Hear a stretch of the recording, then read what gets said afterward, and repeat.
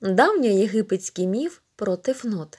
Була в бога сонця Ра кохана донька Тефнут, його око, створене ним самим. Вона поливала землю, насичуючи вологою сади та ниви, билася з чудовиськами, що були ворогами її батька, карала тих, хто не корився його волі. Це була могутня і хоробра богиня, але вона мала надто свавільну і запальну вдачу.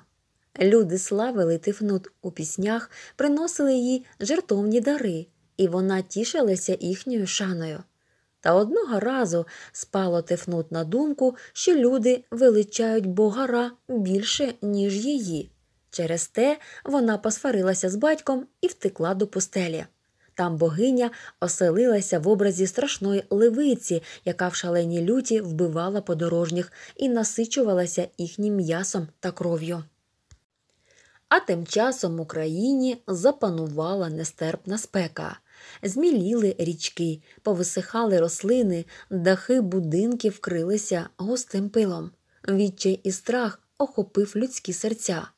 Гірко сумував Ра за своєю донькою. Він волів її знову бачити біля себе.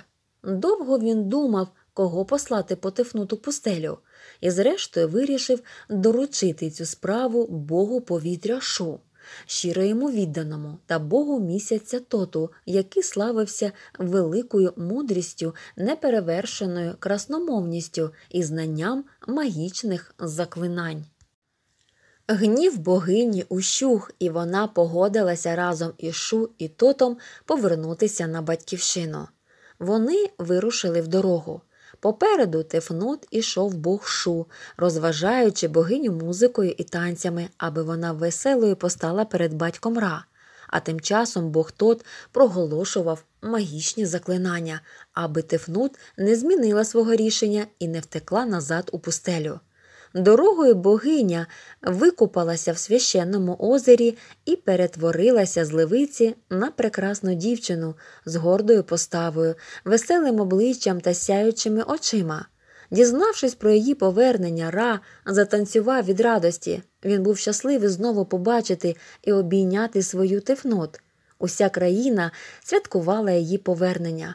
Люди уславлювали ім'я богині в храмах вітали її прихід піснями і танцями. З поверненням Тифнут у Єгипті закінчилася велика засуха, пролилися дощі, які наповнили ніл бурхливими водами. Земля вкрилася весняним квітом. Відтоді, за наказом Ра, День повернення Тифнут щороку відзначають у Єгипті як велике свято.